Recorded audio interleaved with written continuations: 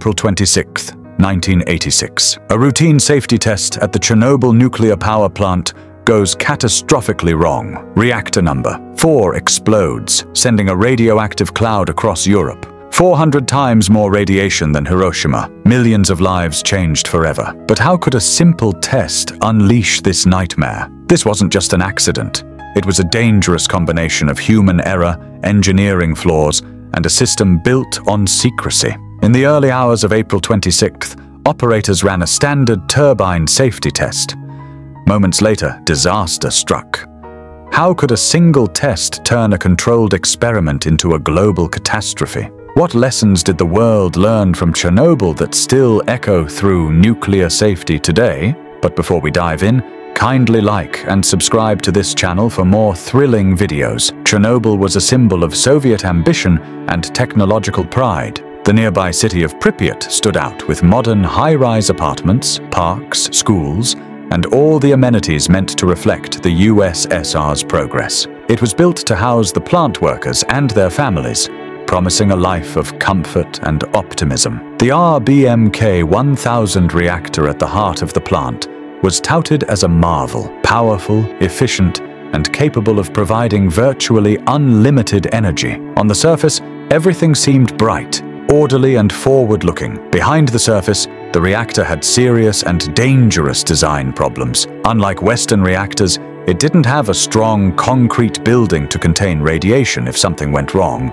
The way it was built made it unstable. At low power, steam bubbles could actually make the reaction grow instead of slowing it down. This made the reactor very risky in certain situations. These design flaws, along with the Soviet push to save money and look successful, turned what should have been a safe power source into a ticking time bomb. Warnings had been issued by engineers familiar with these flaws. They knew about the potential dangers of the control rods and the unstable reactor physics. Yet, in the Soviet system, voicing concern was dangerous and often discouraged. Operators were never fully informed that activating the emergency shutdown in specific conditions could itself trigger a catastrophic reaction. These hidden flaws, ignored warnings, and a culture of secrecy set the stage for one of history's worst technological disasters. But here's the ick. How could speaking up to power get you castigated?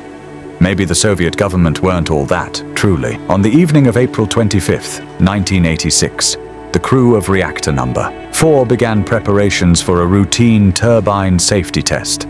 This test aimed to determine whether the reactor's cooling pumps could operate using residual turbine power during a blackout before backup generators came online. Minor delays and miscalculations caused the reactor to remain at dangerously low power for hours, allowing xenon gas to accumulate, a phenomenon known as xenon poisoning, which made the reactor extremely unstable. As midnight approached, operators made critical errors. They disabled automatic safety systems, withdrew most of the control rods, and attempted to run the test despite the instability.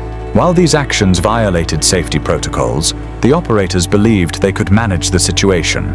In reality, they had no way of controlling the rapidly deteriorating conditions. At 1.23 a.m. on April 26th, the reactor's power suddenly shot up. In panic, the shift supervisor pressed the AZ-5 emergency shutdown button, which was supposed to make the reactor safe. Instead, the special control rods made things worse by pushing out coolant and increasing the reaction. Within seconds, a huge steam explosion blew the 1,000-ton reactor lid into the air. A second blast followed, tearing the core apart. Flames shot into the night sky, and burning pieces of fuel and graphite rained down onto the nearby Unit 3 building. Because there was no protective structure around the reactor, radioactive materials escaped straight into the air, the resulting fire burned for 10 days, releasing radioactive contamination at levels estimated to be 400 times that of the Hiroshima bomb. What should have been a simple safety test became a global nightmare, leaving Europe exposed to a deadly radioactive cloud and forever altering public perception of nuclear power. Is this a self-sabotage or just a failed testing? No one could know. Inside the plant, confusion and chaos reigned. At least one worker, Valery Khodemchuk, died instantly in the explosion, his body never recovered. Another worker died soon after from severe injuries. fires broke out across the reactor building, but some officials initially underestimated the scale of the disaster, believing it to be a routine electrical fire. Within minutes, firefighters from Pripyat arrived at the scene. Unaware of the deadly radiation saturating the air and equipped only with standard gear, they climbed ladders to the blazing rooftops and sprayed water onto the burning structures. They worked through the night, unaware that each minute in that environment was delivering a lethal dose. By early morning, around 5 a.m., the roof fires had largely been extinguished, preventing the flames from spreading to nearby reactor units and storage facilities, a critical action that helped avert an even greater catastrophe. However, fires inside the destroyed reactor continued to burn for much longer. Their heroism came at a terrible cost. Many of the firefighters and plant workers began showing severe radiation symptoms within hours. Vomiting, burns, and sudden collapse. They were later flown to specialized hospitals in Moscow, but the doses they had received were far beyond what the body could survive. In the weeks that followed, 28 firefighters and plant workers died from acute radiation sickness. Their names are documented, and many are buried in Moscow's Mitinska cemetery in zinc-lined coffins due to the radiation in their remains. Their bravery and sacrifice prevented the disaster from escalating even further. Yet Soviet authorities stayed silent, and residents of Pripyat continued their daily routines unaware of the invisible poison drifting through the air. This courageous response showed the strength of ordinary people in the face of a disaster few could fully comprehend. The radioactive cloud released by the explosion drifted across Europe, carried by prevailing winds by April 28th, radiation alarms in Sweden, over 1,000 kilometers from Chernobyl, detected elevated radiation levels, prompting international concern and forcing the USSR to admit that an accident had occurred. For 36 hours after the explosion, the residents of Pripyat were left completely unaware of the danger. Children played outside, families celebrated events like weddings, and people went about their normal routines all while invisible, deadly radiation surrounded them. Evacuation orders only arrived on the afternoon of April 27th.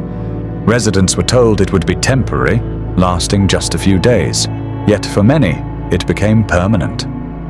The Soviet government's delayed admission and secrecy greatly worsened the disaster's effects. People continued to drink contaminated milk, touch radioactive dust, and eat local food all while unaware of the invisible threat they faced. The lack of timely information magnified the human and environmental toll, making the consequences far worse than they might have been with proper warning and response. In the weeks following the disaster, the USSR mobilized over 500,000 people, soldiers, engineers, and volunteers known as the liquidators. They became the frontline defense against radiation, performing tasks that were often deadly.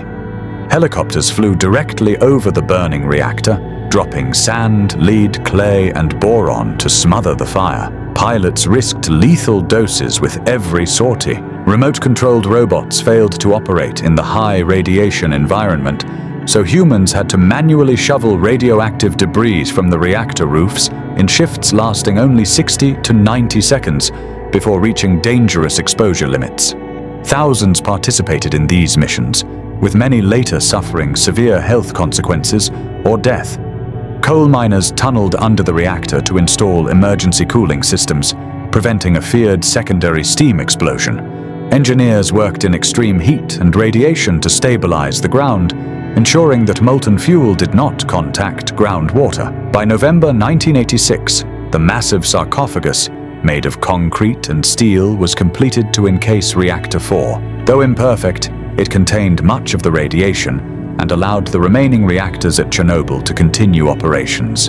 Immediate evacuations removed roughly 116,000 residents from the 30-kilometer exclusion zone, with another 220,000 relocated later.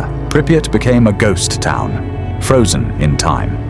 Radiation exposure led to widespread health consequences, including a surge in thyroid cancer among children and other long-term illnesses. The Red Forest, heavily contaminated, stands as a reminder of environmental devastation. Though over decades, wildlife has slowly adapted in the absence of humans. The disaster prompted a worldwide re-evaluation of nuclear safety. RBMK reactors were retrofitted to correct design flaws, safety protocols were strengthened, and international cooperation increased, including the creation of the World Association of Nuclear Operators, WANO. Trust in the Soviet government eroded, as Gorbachev later admitted that the accident revealed systemic flaws. Many historians cite Chernobyl as a factor contributing to the USSR's eventual collapse. Chernobyl was far more than an accident. It was a convergence of human error, engineering flaws, and extraordinary heroism. Lessons in safety, accountability, and humility were painfully learned. Today, the Chernobyl exclusion zone, the sarcophagus, and the stories of the liquidators serve as permanent reminders of the high cost of mistakes and secrecy. Even decades later, Chernobyl stands as a testament to the need for vigilance whenever humanity wields immense technological power. Thanks for watching. Hit like, subscribe, and join us as we uncover more stories where human ambition and error collide and learn the lessons that history has painfully taught.